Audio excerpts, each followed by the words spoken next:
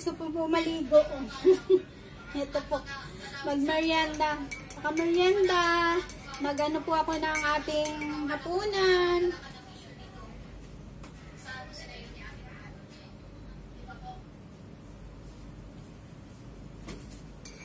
Ito, bumili pa ako ng tinapay. Tapos ito po yung natira ng star margarine na pagluto ko po ng spaghetti, ng aking pong handa. Late handa na nga po nung last Sunday. Kaya ito po, kain po tayo. Palaman po natin. Para hindi mo mapat masayang kasi lalo po ngayon, is summer. Magme-melt po to.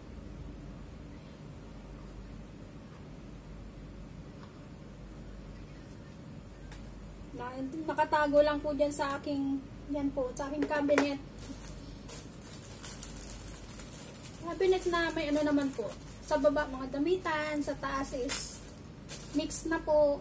May pagkain, may may mask, tsaka kung ano-ano pa po. Yan. Para po, kayo po, ano po bang merienda nyo ngayon sa mga oras na to? Ako maswerte na lang din po na may merienda pag ganito. Tsaka, salamat po uli ako sa ating Lord kasi sabi ni amo ko kanina, Cheche, where you finish your contract? Abisa. Sabi ko, on, on July, July, on June 2. Oh, June 2? Sabi niya, ay sabi ko, yes. Then, you can have your new salary. Wow, new salary na. Yun. And sabi ko, thank you. Kaya, salamat kay Lord talaga. Kaya sabi, sensya na kayo nakikita ang aking bill-bill eh, oh. Sabi ko nga po noon, if hindi nila ibigay yung sinabi nila, hindi naman ako nag-promise sa kanila. Sila nag-offer po sa akin noon para nga lang hindi pa ako makauwi. Electric pan malayin na. Eh, nag-offer po sila ng high salary and then one month vacation. Yun na lang po ang hinihintay ko pa yung one month na vacation ko. Kung anong sabi nila kasi nagpaalam na po ako na uwi po sana ngayong December pero wala pa pong confirmation. If this year or next year kasi sabi niya ano eh. Sabi ba? I will give you your ano ba yung in-apply niya po na extension is next year pa. Kaya baka next year pa po ako i-allow na makaupo. Tara po. Kain po tayo nito tinapay tsaka kape.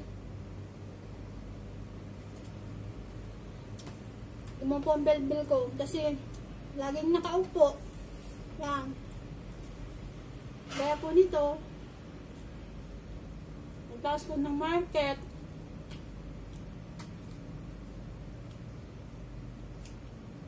Nagligpit ng mga ano, ligo. Pakaligo. Ito, merienda po. Pagkas natin mag-merienda, mag-prepare na naman po ako ng hapunan. Ano lang naman po yung isda. Pagulay. Yun lang naman po. Pero, by next week po siguro, hindi ko alam kung basta nitong July, darating po yung anak nila galing sa UK. Kasi doon po nag-aaral. Ngayon, nagbakasyon, magbabakasyon po dito. Wala nang pasok eh. Sabi ko nga sa mga amo ko, Ma'am, why mo mo is late? Ang ano niya, vacation niya ngayon. Sabi niya, the school in UK, she's not allowed to take early vacation. Kasi kayo ganun, kailangan daw talaga tapusin niya yung pag-aaral niya. Kasi last year, hanggang umuwi nun kaya, June, kauwi na siya eh. Yung 21 days yung kanyang, ano, last year 21 days yung kanyang quarantine. Kaya lumabas siya na nung June is 19. Sakto din na birthday ko po nung Sabado.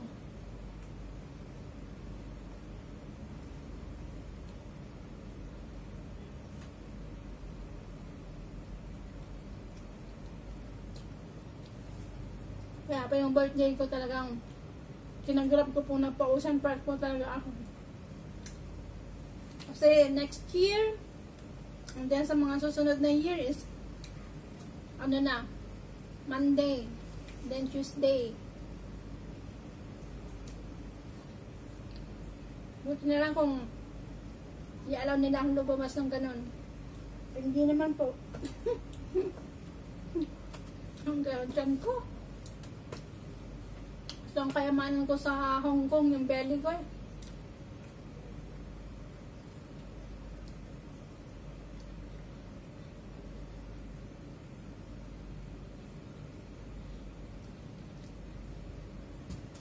Tapos mamaya po, kakain na naman tayo.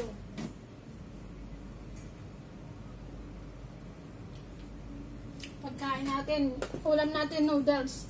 Para may sabaw.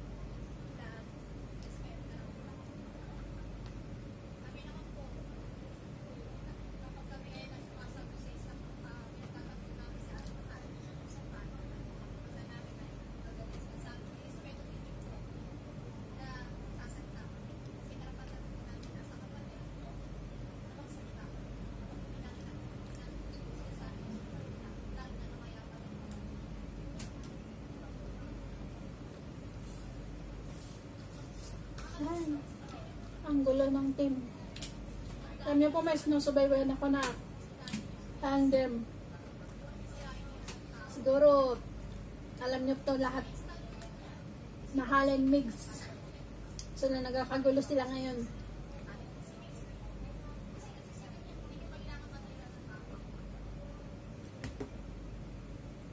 Mga fans kasi sa kabila, masyado.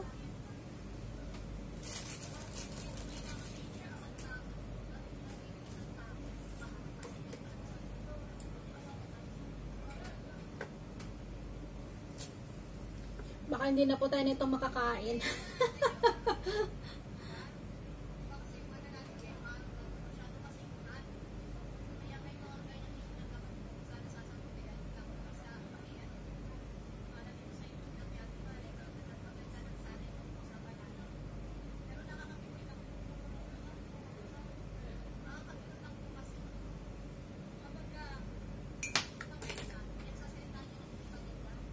Isa na lang. Tupi na lang po natin.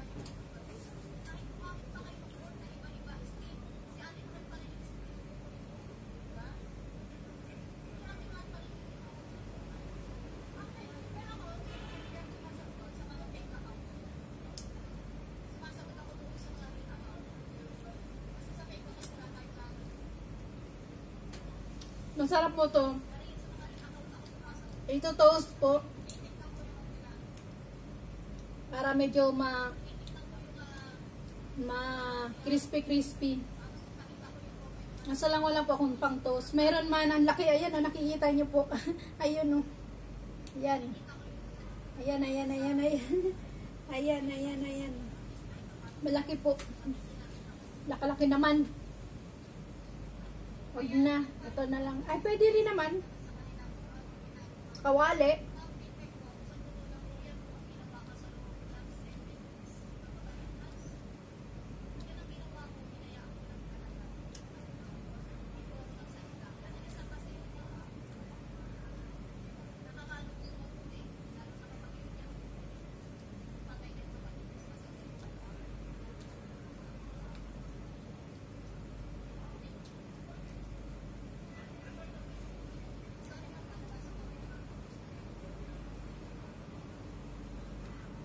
Ang totoo lang, tagal ko na po hindi nakakain ng Andiyan tinapay na palaman po star margarine. At ang binibili ko po, ano, Lady's Choice. O kaya yung cheese twist. Napabili lang po kasi ako nito dahil gawa nga po nung sa spaghetti na pag, ano, panluto ko. Sabi ng aking ate, sabi, Ludes, ito yung bilhin mo yung star margarine kasi magandang gamitin yan pang ano, kaya bumili po ako. Eh, na gamit ko lang naman is half. Kaya sayang naman din po, di ba?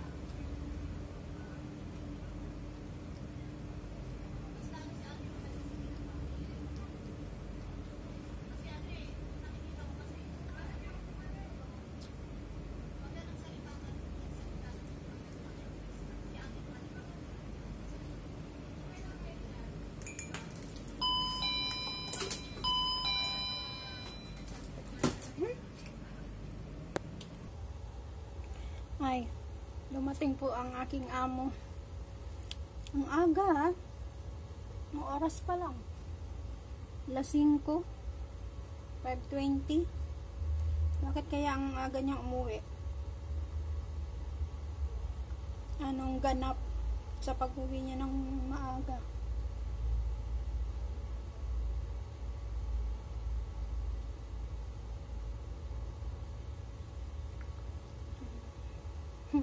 Tinanggalan natin yung balot kasi kanina basang-basa pa po.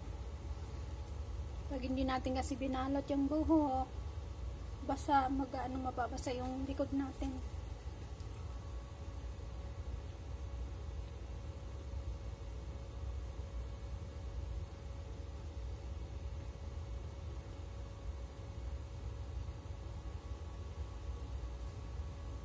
Buti na lang din. Tapos nating merienda